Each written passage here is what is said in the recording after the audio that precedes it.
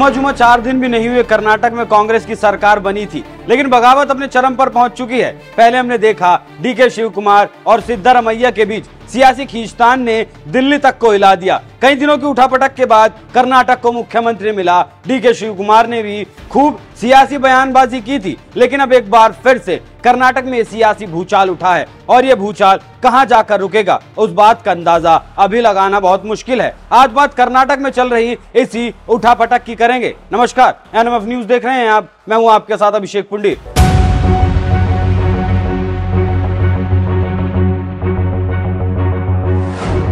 कर्नाटक में भारी बहुमत के साथ जीतने के बाद कांग्रेस का उत्साह अति उत्साह में बदल चुका है। इस जीत का सेहरा सिद्धारमैया को सीएम बनाकर उनके सर पर बाँध दिया गया। बड़ी मुश्किल से हाईकमान ने उस वक्त तो बाकी दावेदारों को शांत करवा लिया था, लेकिन सरकार बनने के कुछ रोज बाद ही अब फिर से ये खींचतान एक बार फिर शुरू हो गई है। गृह मंत्री जी परमेश्वर ने खुलेआम कहा है कि वो मुख्यमंत्री बनेंगे।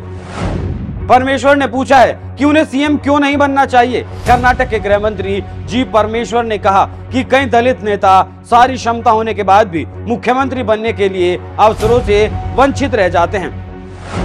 परमेश्वर ने प्रदेश अध्यक्ष रहते हुए 2013 के विधानसभा चुनाव में कांग्रेस की जीत का श्रेय उन्हें नहीं दिए जाने का भी ज़िक्र किया। गृह मंत्री जी परमेश्वर ने कहा हम लोगों को हीन भावना को छोड़ना होगा। यही कारण है कि खुले तौर पर मैं कहता हूँ कि मैं मुख्यमंत्री बनूँगा। मुझे क्यों नहीं बनना चाहिए? कि एच मुनियप्पा भी बने, क्यों नहीं बनना चाहिए? ऐसा नहीं है कि ये पहली बार है। इससे पहले भी परमेश्वर कांग्रेस आला कमान को चेतावनी जारी कर चुके हैं। गृह मंत्री का कहना है कि उन्हें अवसरों से वंचित रखा गया है। उन्होंने कहा उन्होंने दलितों से आह्वान किया है कि वो अपने अधिकारों के लिए आवाज़ उठाएँ और अपने वोट का सही इस्तेमाल करें। गृह मंत्री की इस बात के मतलब गहरे निकलते हैं। सियासी गलियारों में इस बात की चर्चा होने लगी है कि अब क्या होगा। क्या गृह मंत्री अपनी मुख्यमंत्री बनने की इच्छाओं को अब बल देने में जुट चुके हैं? क्योंकि कांग्रेस आलाकमान की तरफ़ से तो ये साफ़ हो चुका है कि पाँच के पाँच साल सिद्धरमैया ही मुख्यमंत्री रहेंगे। क्योंकि डी के शिव कुमार के तेवर भी काफ़ी तल्ख थे, लेकिन वो भी अब नरम पड़ चुके हैं। परमेश्वर की खुले तौर पर मुख्यमंत्री बनने की इच्छा का इजहार करना कांग्रेस आला कमान में खलबली पैदा कर सकता है।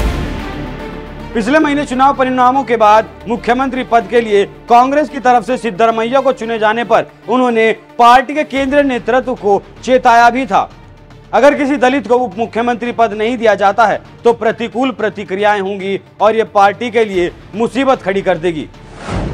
तो ऐसे में पार्टी के लिए मुसीबत क्या हो सकती है? क्या परमेश्वर बागी हो सकते हैं? क्या किसी और पार्टी के साथ परमेश्वर हाथ मिला सकते हैं? या फिर विरोध के जो स्वर हैं, वो 24 के चुनाव में फिर से उठ सकते हैं? क्योंकि ऐसा होने की संभावना तो बेहद कम नज़र आती है कि वो पार्टी का साथ छोड़कर किसी और पार्टी के साथ हाथ मिला ले। लेकिन उनकी प्रतिकूल प्रतिक्रिया क्या 24 के चुनाव में दिख सकती है? कांग्रेस परमेश्वर के इस बयान को हल्के में तो कतई नहीं ले सकती। और अगर हल्के में लिया तो कांग्रेस जानती है कि इसका नतीजा क्या हो सकता है, क्योंकि राजस्थान में वो अंतर कलह से जूझ रही है, पार्टी दो धड़ों में बटी है। सचिन पायलट और अशोक गहलोत के बीच अक्सर हमें तलखी देखने को मिलती है। वहाँ भी सीएम की कुर्सी को लेकर ही तकरार पैदा हुई थी जब 2018 में राजस्थान में चुनाव हुए थे। उस वक्त सचिन पायलट कांग्रेस के अध्यक्ष थे, प्रदेश के और सचिन पायलट चाहते थे कि उनकी मेहनत का फल उन्हें मिले और सीएम सचिन पायलट को बनाया जाए। लेकिन कांग्रेस आला कमान ने वहाँ गहलोत को सीएम बनाया था। और अगर बात असम की करें तो असम में हेमंत बिश्व शर्मा को हल्के में लेने की कांग्रेस आला कमान ने गलती की थी, लेकिन आज असम से लगभग कांग्रेस का वजूद ही खतरे में है और बीजेपी से सीएम है हेमंत बिश्व शर्मा। तो कांग्रेस इस बात को भी ध्यान में ज़रूर रखेगी और हल्के में तो इस बात को कतई नहीं लेगी। तो लोकसभा चुनाव के नज़दीक होने से पार्टी ऐसा नहीं चाहेगी कि किसी और राज्य में, आपस में, नेताओं के बीच में ठने। पार्टी कतई नहीं चाहेगी कि एक और राज्य में असम या राजस्थान जैसे हालात पनपे, क्योंकि परमेश्वर कर्नाटक में कद्दावर नेता माने जाते हैं। एच डी कुमार स्वामी का जब कांग्रेस से गठबंधन था तो वो उस वक्त उप मुख्यमंत्री भी रह चुके हैं। सबसे लंबे वक्त तक वो कर्नाटक कांग्रेस प्रदेश के प्रमुख भी रह चुके हैं।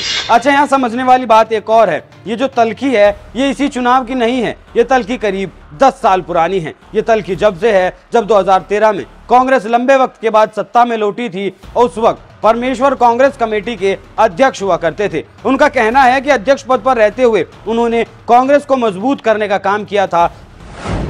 लेकिन जब 2013 की जीत मिली तो उन्हें किसी ने भी जीत का श्रेय नहीं दिया। हालाँकि उन्होंने सिद्धारमैया या डी के शिव कुमार का नाम नहीं लिया, लेकिन बिना नाम लिए कहा।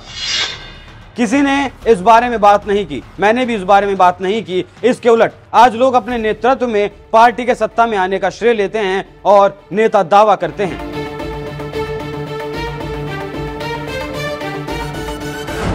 परमेश्वर ने यह भी दावा किया कि कांग्रेस कुछ समुदायों की उपेक्षा करने के कारण 2018 का चुनाव हार गई थी। उन्होंने किसी समुदाय का नाम नहीं लिया, लेकिन वो दलित समुदाय को इंगित करते दिखे। जैसे परमेश्वर लगातार दलित समुदाय की बात कर रहे हैं और जिस हिसाब से कर रहे हैं, वो विरोध के स्वर को बताने के लिए काफ़ी है। यहाँ सवाल ये भी उठता है कि क्या कांग्रेस वाकई में दलित समुदायों की उपेक्षा कर रही है? क्योंकि यहाँ राहुल गांधी का अभी हाल ही में अमेरिका में दिया गया एक बयान याद आता है, जहाँ भारत में मुस्लिमों का क्या हाल है, ऐसा एक सवाल पूछा गया था राहुल गांधी से। तो राहुल गांधी ने इस सवाल के जवाब में कहा था कि आज भारत में मुसलमानों की हालत वैसी है जैसे 80 के दशक में उत्तर प्रदेश में दलितों की हुआ करती थी। लेकिन राहुल गांधी वहाँ इस बयान को देते वक्त भूल गए थे कि उस वक्त प्रदेश में कांग्रेस की ही सरकार थी। तो राहुल गांधी के मुताबिक 80 के दशक में उत्तर प्रदेश में दलितों की हालत खस्ता थी और उनकी ही सरकार में ये चल रहा था। तो क्या कर्नाटक में भी दलितों को वो हक और सम्मान नहीं मिल रहा जो उन्हें मिलना चाहिए था? राहुल गांधी के बयान और परमेश्वर के बयान को अगर जोड़ा जाए तो फिर निचोड़ यही निकलता है कि दलितों के साथ भेदभाव हो रहा है। अभी और सुनिए, आगे परमेश्वर ने क्या कहा। वो सारी तस्वीर को साफ़ कर देगा। परमेश्वर ने कहा कि विधानसभा चुनाव से पहले पार्टी नेतृत्व ने उन्हें अंबेडकर जयंती मनाने की ज़िम्मेदारी दी थी, जबकि एच मुनियप्पा को बाबू जगजीवन राम के जन्मदिन समारोह को मनाने की ज़िम्मेदारी दी गई थी। गृह मंत्री ने कहा कि दोनों ने चर्चा की और इसे स्वीकार नहीं करने का फैसला किया, क्योंकि यह दलित समुदाय के खिलाफ फूट डालो और राज करो वाली बात थी।